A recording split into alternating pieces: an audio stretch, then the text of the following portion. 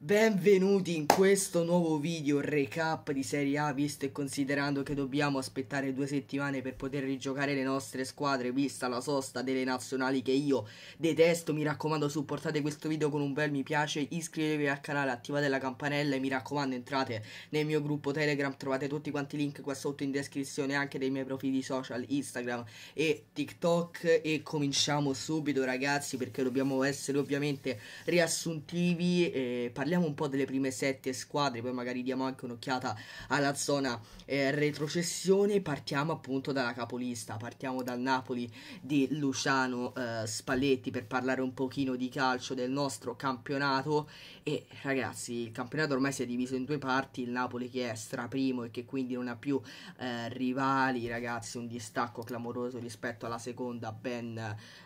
19 eh, punti di vantaggio, ormai il campionato è bello che è andato e addirittura sta scomparendo prendo la scaramanzia che è sempre stata presente a Napoli dei tifosi partenopei, ossia quella di aspettare prima di parlare. Invece le strade si stanno già colorando di azzurro con il tricolore, i poster, cioè qualcosa di fantasmagorico, così come Napoli di Luciano Spalletti che ragazzi sta continuando a sorprendere un po' tutti quanti. Sono indubbiamente una delle squadre più forti in Europa, se non la squadra più forte in Europa in questo momento. In Champions League sono andati avanti, l'unica competizione da cui sono stati eliminati è la Coppa Italia dove hanno messo il il turnover e poi sono uscite calci di rigore contro la Cremonese secondo me se l'avessero voluta veramente eh, sarebbero andati avanti senza eh, eh, inserire troppe riserve. Ma parlando di roba seria ragazzi il Napoli lo scudetto l'ha praticamente già vinto ok? Perché dovrebbe succedere l'apocalisse per far sì che il Napoli non lo vincesse, quindi finché non arriva la matematica è vero, non è assolutamente assicurato, però ragazzi i punti di vantaggio sono estremamente troppi, viste anche le partite che rimangono al termine del campionato e sono 12. È un Napoli che quindi dopo la sconfitta contro la Lazio, che tra l'altro è una delle due stagionali in Serie A dopo quella di Liverpool in Champions League, è riuscito a riprendersi le tre vittorie consecutive subendo, non subendo mai gol, zero gol subiti, tre clean sheet consecutivi. E ragazzi ho letto una statistica incredibile, Quaraxelio Simen che per me è il duo più forte in Europa probabilmente, ehm, in Serie A eh, sono andati in doppia cifra di gol entrambi, in doppia cifra di assist entrambi e nella somma di gol e assist sono ovviamente primi in solitaria, insomma, devastanti sotto tutti i punti di vista. Forse Osimen non è andato in doppia cifra di assist, eh? se non ricordo male, però ragazzi, sono una coppia devastante, sta funzionando tutta la quanta la squadra, Kim è il difensore più forte della Serie A e come dice Spalletti probabilmente anche uno dei più forti in Europa, ha avuto una crescita esponenziale, complimenti aggiuntoli per il calcio mercato, ho scoperto anche Quaraxelia, Lobotka, Anguissa che stanno andando da Dio, da manuale in quel centrocampo, sta funzionando tutto quanto, anche i tifosi ragazzi sono in estasi e quindi il Napoli proprio ha, ha, già scritto la storia con questa stagione, ok? Anche andando solo ai quarti di finale di UEFA Champions League dove comunque possono andare avanti visto e considerando che vanno ad affrontare il Milan di Stefano Pioli. Andiamo sempre in ordine di classifica dopo il Napoli, il fantastico Napoli che non ha più bisogno di aggettivi e descrizioni Andiamo alla Lazio, ahimè, la Lazio è seconda in classifica, ragazzi, la seconda forza del campionato, anche se ovviamente c'è la Juventus e quindi dai, diamo priorità uh, alla Lazio, ma poi subito dopo andiamo alla Juventus, anche se poi ehm, a livello visivo non sono né secondi né terzi. Ma allora la Lazio, ragazzi, vince il derby della capitale lo vince per 1-0 con la rete di Mattia Zaccagni, una partita molto complicata eh, per come sono andate le cose, rossa di Bagnets, una Roma che quindi rimane in 10, Roma tutta dietro, baricentro basso e la Lazio poi ha trovato lo sbocco giusto, gol annullato alla Roma dopo un minuto, praticamente due minuti dal gol della Lazio, Zaccagni semplicemente favoloso ragazzi, uno dei giocatori più forti di questa Serie A quest'anno. E eh, fortunati per il gol annullato alla Roma, poi si sono difesi alla grande, la Roma che ha alzato il baricentro giustamente perché comunque doveva riprendere la partita, ma la Lazio comunque se l'è portata a casa lottando con qualità e anche ovviamente con tutta la cattiveria del mondo. È una vittoria che dà estasi, però ora c'è la sosta e vediamo come tornerà la Lazio. Sarri dovrà essere bravo a ricompattare il gruppo e a tenerli concentrati, anche perché ci sarà una gara importante, la trasferta di Monza. È anche vero che in Europa la Lazio ha fallito, ha fallito anche il campionato, eh, in Coppa Italia, scusate, uscendo contro la Juventus ai quarti di finale, mentre in Conference League addirittura sono usciti contro la Z Alkmaar agli ottavi di finale. Questo è un fallimento, ragazzi, incredibile, eh, visto e considerando che la Conference League poteva essere una competizione alla portata della Lazio, una competizione europea riconosciuta dalla UEFA che avrebbe dato tanto credito alla squadra di Maurizio Sarri, tra l'altro competizione vinta lo scorso anno dai cugini della Roma, anche se io non ho cugini. È una Lazio che ragazzi indubbiamente sta facendo un ottimo campionato perché comunque 52 punti sono veramente tanti, i primi in classifica del campionato dei normali perché poi ci sono gli alieni, gli extraterrestri che sono a più 19 e Champions League quasi consolidata visto e considerando che la Roma è a meno 6 perché parliamoci chiaro più 5 punti è vero ma la Lazio ha entrambi gli scontri diretti quindi ovviamente sono 6 punti effettivamente da recuperare per la Roma anche se poi c'è il Milan a meno a più 1 che quindi ovviamente è una strada percorribile ma la Lazio ha i scontri diretti anche sul Milan ha i scontri diretti sull'Inter in questo momento cioè quindi è comunque messa molto bene e la Champions League ragazzi è alla portata quest'anno. Complimenti a Sari per il lavoro ma non, non dovessero andare in Champions sarebbe un fallimento. Andiamo appunto alla Juventus. Parliamo brevemente della Juventus che è una squadra ragazzi veramente eh, molto molto molto molto forte ok? Se non sbaglio a livello di punti è anche sopra la Lazio di 1 quindi insomma non a livello del Napoli però nelle ultime gare si sono ripresi alla grande hanno vinto anche loro il derby ovvero il derby d'Italia contro l'Inter a Milano a San Siro per 0 a 1 con la rete appunto di Kostic. Ragazzi ci sono state delle moleviche ma il gol alla fine è stato convalidato e ragazzi la Juventus che va avanti anche in Europa League sono ai quarti di finale dopo essere arrivati terzi nel girone di Champions League, quindi non è una stagione del tutto positiva e poi ovviamente lui incentua il tutto la, la, penalizzazione di 15 punti. Però ragazzi, a mio modo di vedere, la Juve, se dovesse continuare così, potrebbe assolutamente percorrere degli obiettivi importanti perché è ancora viva anche per la Coppa Italia dove è arrivata in semifinale, c'è la strada spianata, visto e considerando che vanno ad affrontare eh, l'Inter, che in questo momento non è che sia messa così tanto bene. È una Juve che quindi dovrà lottare per eh, il proseguo di questa stagione, ma attenzione perché possono assolutamente fare grandi cose, magari magari in campionato cercare di agguantare perlomeno il sesto posto, anche se poi ora sono a meno 6 dalla Roma che è quinto, ok? Quindi e a meno 7 dalla Champions League, questo è qualcosa di clamoroso, hanno recuperato un sacco di punti nonostante appunto la penalizzazione. E insomma ragazzi, eh, la Juve viene appunto da quattro sconfitte consecutive, quindi la sconfitta contro la Roma eh, contro di noi è stata anche abbastanza positiva eh, per il periodo della Juventus che prima della Roma ragazzi stava andando veramente molto molto bene, quindi alla grandissima, una squadra forte indubbiamente che ha un 11 titolare incredibile, c'ha grandi riserve, Allegri insomma c'è una squadra importante in rosa, non giocherà poi così tanto bene, però ragazzi convincono, convincono soprattutto in fase difensiva e con, le, con gli squilli là eh, davanti, insomma è una grande grande Juventus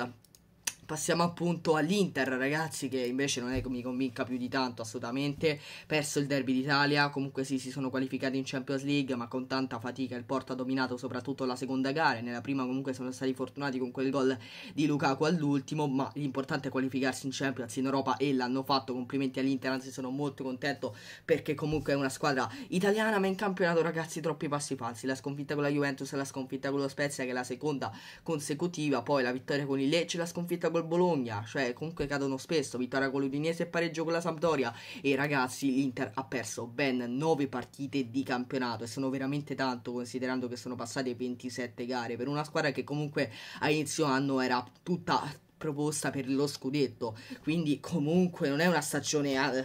così poi così tanto floria. Anzi, rischiano addirittura di non andare in Champions League, visto che sono a 50 punti e quindi stanno in piena lotta con tutte le altre. Quindi, attenzione, l'Inter deve assolutamente macinare i punti di partita in partita, al di là, al di là indipendentemente da come giocano. L'Inter deve portarsi le partite a casa, deve portarsi tre punti a casa, perché se no si fa veramente dura si fa dura e tutte stanno un po' zoppicando là davanti, quindi ovviamente non è che possiamo parlare strabene tranne che del Napoli, però comunque ragazzi, bene o male l'Inter è andata avanti in Champions League, in Europa sta dicendo la sua, sono in semifinale di Coppa Italia, quindi poi non è così, poi una stagione così tanto, scusate la ripetizione, negativa, però devono assolutamente andare in Champions League e questo credo che sia chiaro anche per i giocatori che hanno a disposizione. Passiamo al Milan ragazzi che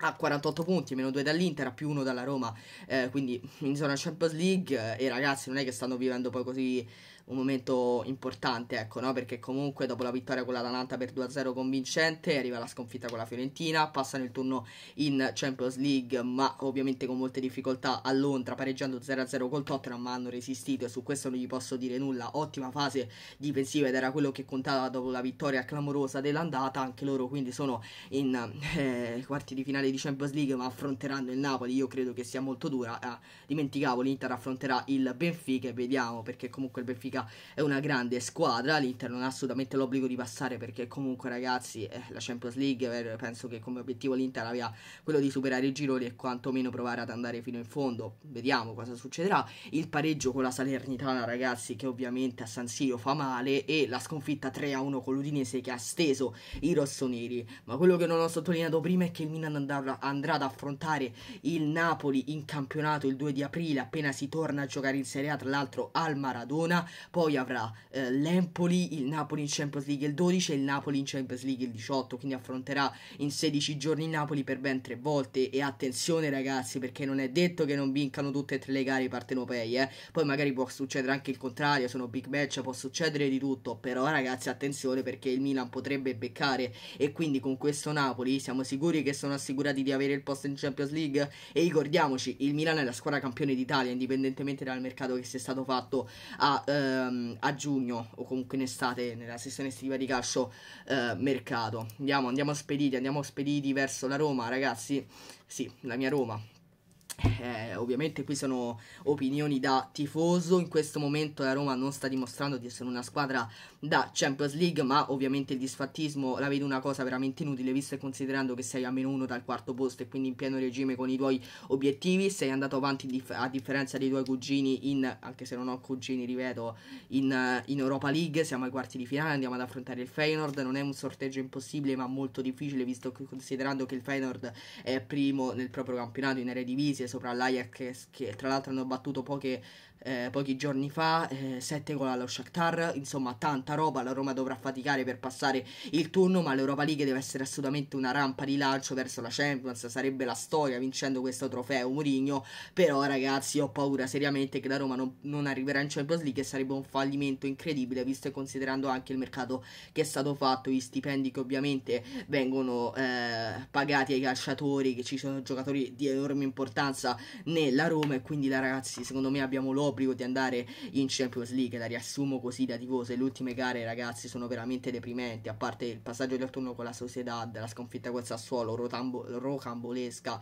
la sconfitta nel derby della capitale che può far male, la Lazio ora così agli scontri diretti, praticamente di sta più 6 e quindi ovvio che così si mette veramente dura e purtroppo è giocato per metà e passatempo con Roger Ibagnez che viene espulso e quindi con un uomo di meno, insomma si è, si è reso tutto difficile, la vittoria con la Juventus Juventus stava per dare speranza dopo la sconfitta clamorosa con la Cremonese, ma una Roma troppo altalenante che se vuole la Champions League deve essere assolutamente più continua, così come le altre che comunque stanno percorrendo per lo stesso obiettivo. E mettiamoci dentro, sì, pure l'Atalanta, ragazzi.